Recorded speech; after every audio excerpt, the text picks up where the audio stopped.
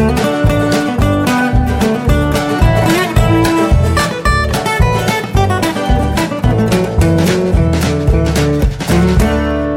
und herzlich willkommen zu Jörn Schars feinem Podcast Episode 141. Ich bin Jörn Schaar und ihr seid es nicht.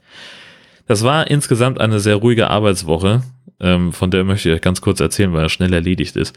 Ähm, denn ich habe mich im Wesentlichen wie geplant im Büro ein, mehr ruhig verhalten. Ich hatte eine Menge Papierkram zu tun. Ich hatte noch Reisekostenanträge zu schreiben. Buchhaltung musste gemacht werden und noch so ein paar ja, so, so Personalfragebögen ausfüllen und so ein Tüdelüt, was, also letztlich etwas, das man, ähm, das, das ich jedes Jahr machen muss. Ähm, immer Anfang des Jahres sind da so ein, ist dann ein ziemlicher Stapel an Papier, der abgearbeitet werden will und das habe ich jetzt dann halt mal erledigt. Ähm, habe ein bisschen so Recherchegedöns gemacht und im Wesentlichen ähm, ja, der einzige Tag, äh, wo ich wirklich produktiv an etwas gearbeitet habe, wollen wir ehrlich sein, ähm, das war jetzt der vergangene Freitag, da war ich in Itzehoe am Landgericht, nämlich in einem Zivilprozess. Und ich war, glaube ich, noch nie in einem Zivilprozess, ähm, weil ich, wenn wir berichten, sind das meistens ja irgendwelche Strafsachen. Mord, versuchter Totschlag, Drogenhandel, Missbrauch, so ein Kram. Ähm, also in der Regel nicht schön. Auch das war jetzt nicht schön, was ich da an dieser Zivilprozess, ähm, aber es hatte einen enorm höheren Unterhaltungswert als die ganzen Strafprozesse. Das war wirklich cool, ehrlich gesagt. so ein Eimer Popcorn wäre gut gewesen. Ähm, Zivilprozess, um das einmal kurz zu erklären, ähm, ist halt etwas, wo keine Strafanzeige gestellt wird. Also sprich, die Staatsanwaltschaft hat da keine Aktien drin. Das ist sozusagen, äh, zwei Parteien streiten sich und finden keine andere Lösung als äh, ein, ein Richterspruch.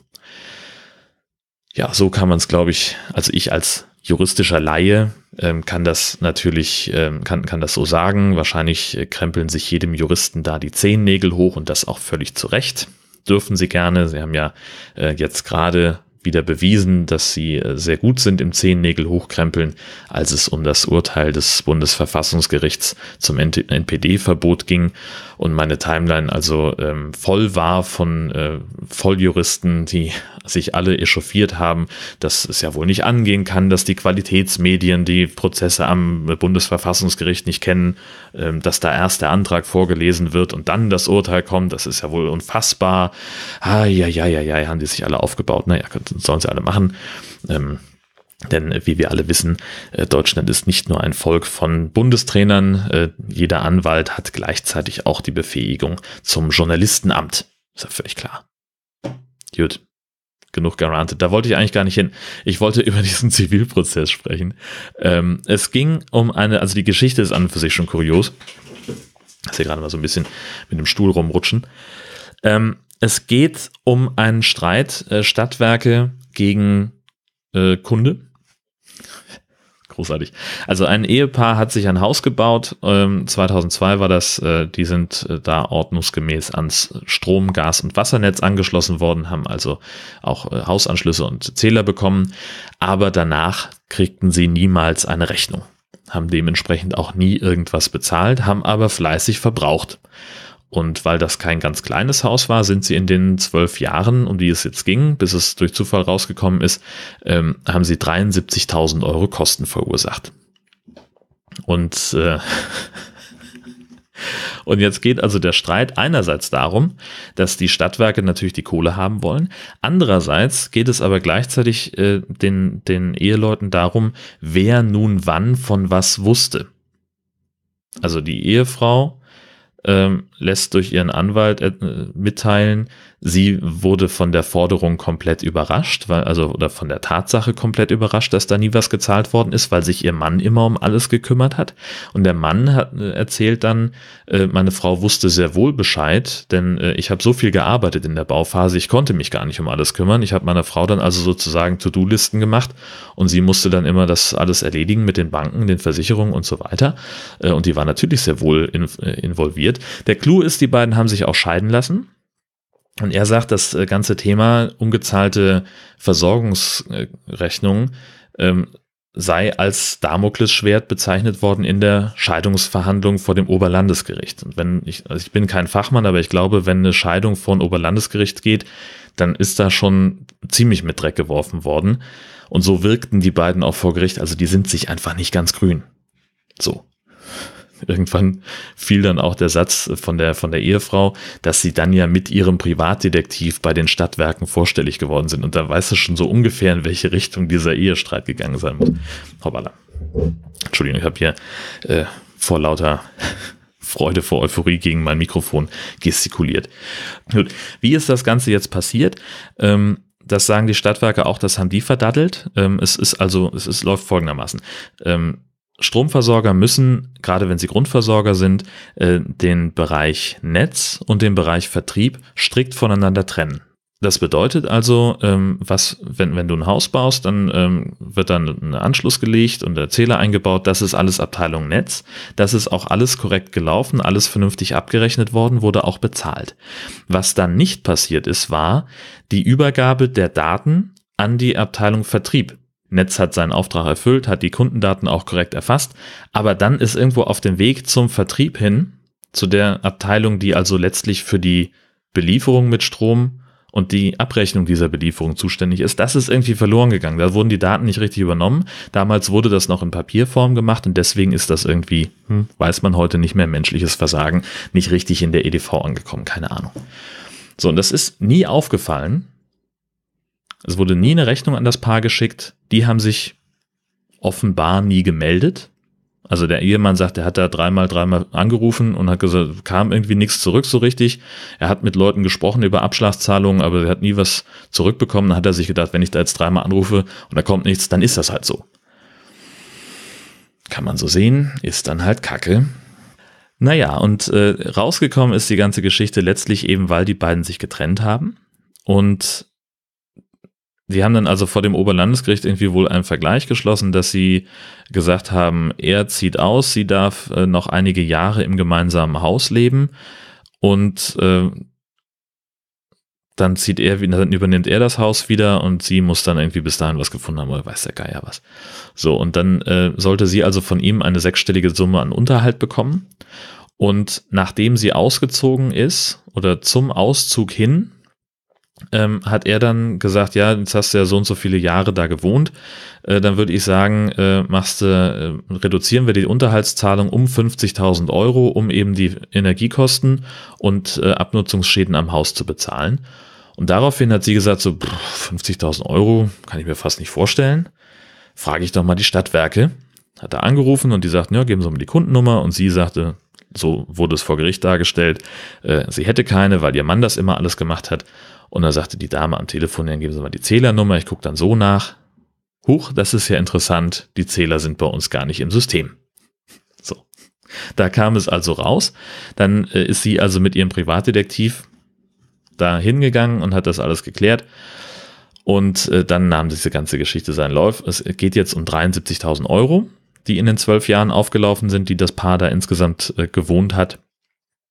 Und es geht um die Frage, äh, wer wusste denn was? Ne? Also wusste die, die Ehefrau Bescheid oder nicht? War es alleine der Ehemann, der das irgendwie vertuscht hat? Hat das vertuscht oder was war das? Keine Ahnung.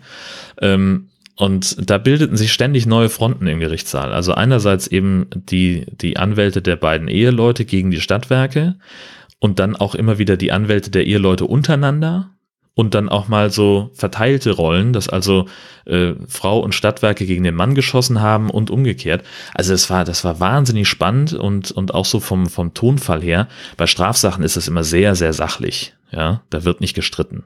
Da geht es darum, da wird ein Zeuge angehört, da werden Fragen gestellt, da wird der Sachverhalt geklärt. Und beim, bei diesem Zivilprozess die haben sich da die ganze Zeit nur gekabbelt. Das müssten Sie als Juristin doch besser wissen. Ähm, ja, das steht aber im Gesetz. Ja, wer liest die denn? Also noch nicht mal ich verstehe das und ich bin Volljurist, so bla bla bla. Ähm, und auch, also was ich sehr schön fand, war, als der, also diese durchsichtige Strategie des, des, des einen Anwaltes, der also dann äh, klären wollte, wie das denn sein könne, wenn jetzt also ein Netzanschluss gelegt wird. Dann endet dieser Hausanschluss am Zähler, sagt die Stadtwerke-Frau. Ähm, und dann kann man von da aus Kabel verzweigen ins ganze Haus und dann ist halt Strom da. Dann kannst du Licht anmachen und dann gibt's halt Strom. So. Und äh, dieser, dieser Anwalt wollte jetzt sagen, ja, dann sind dann, haben sie doch aber was geliefert. Dann müssen sie das doch wissen. kann er nicht angehen. Und dann sagt sie, nein, da muss ein Vertrag gemacht werden. Und Strom ist natürlich einfach in der Leitung, der, der ist halt da. Das ist Physik. Gibt es einfach keine zwei Meinungen. So. Er wollte das nicht einsehen. Für ihn war das völliges Neuland. Ähm, und das alleine war, war wahnsinnig unterhaltsam. Ja, wie das Ganze ausgeht, ja, werden wir sehen.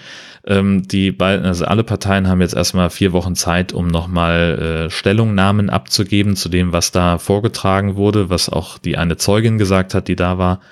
Und dann möchte das Gericht noch weitere vier Wochen Zeit haben, um zu einer Entscheidung zu kommen. Da wird es also Ende März, äh, bis das Ganze verkündet wird. Wenn ich dran denke, dann erzähle ich das nochmal hier. Ansonsten müsst ihr leider die Presse einfach im Auge behalten, ähm, um das nachzuverfolgen. Ja, dann habe ich ein neues Spielzeug. Auch schon habe ich letzte Woche vergessen zu erzählen.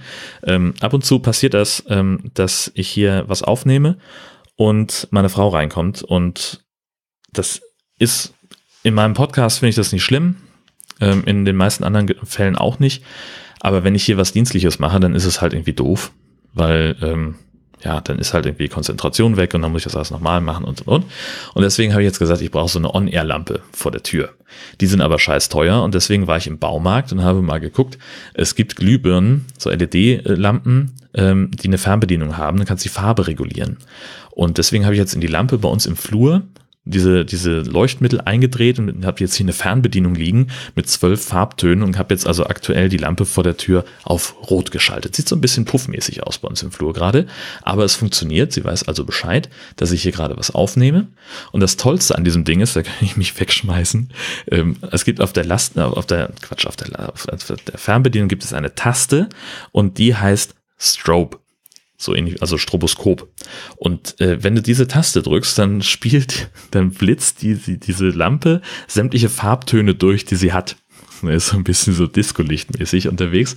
Ich habe davon ein animiertes Gift produziert, das stelle ich euch in die Show Notes. Ich finde es brüllend komisch ähm, und ich freue mich schon auf die nächste Party, äh, bei der ich das dann demonstrieren kann. Das wird ganz, ganz toll. Ähm, ich freue mich wahnsinnig.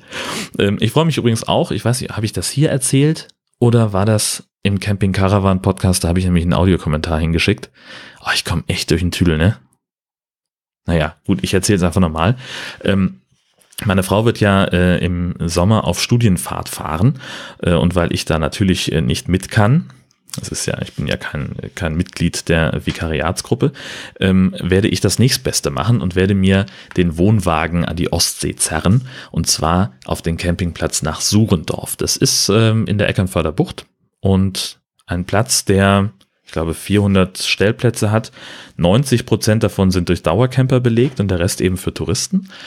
Und ich habe jetzt also schon mal online ein Plätzchen reserviert. Das ist vom Verfahren her ganz cool. Du gehst auf die Homepage, hast da so ein Kontaktformular, füllst du aus, von dann bis dann, eine Person, Wohnwagen, gibt's noch ein Bemerkungsfeld, habe ich noch reingeschrieben mit Hund und habe noch einen, einen Wunsch geäußert, wo ich gerne stehen möchte, wenn das denn geht ist natürlich auf dem Platzplan nicht ausgewiesen, wo Stellplätze sind, wo Touristenplätze sind und wo Dauercamper stehen.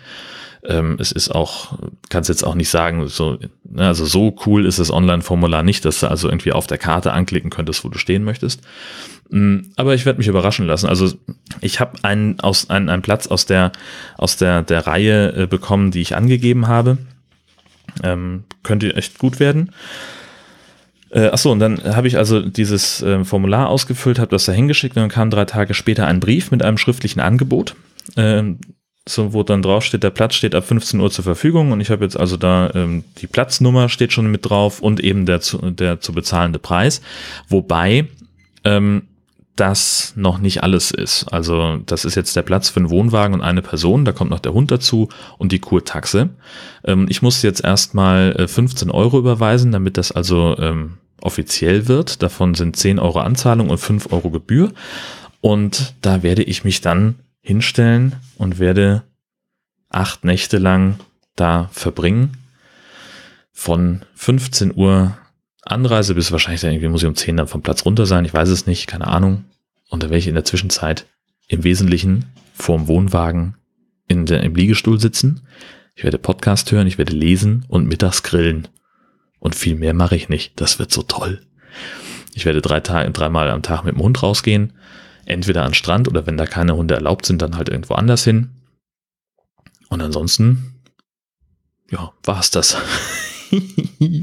das wird so großartig, so richtig klassisch, ähm, so einfach mal gar nichts machen, lieben Gott einen guten Mann sein lassen und sich um einen Scheiß kümmern. Das Handy ist aus und ansonsten passiert nicht allzu viel. Ja, alles mit, was ich brauche. Toll. Ja, das war es im Wesentlichen, was ich erzählen wollte. Ich wünsche euch eine fantastische Woche und bis bald.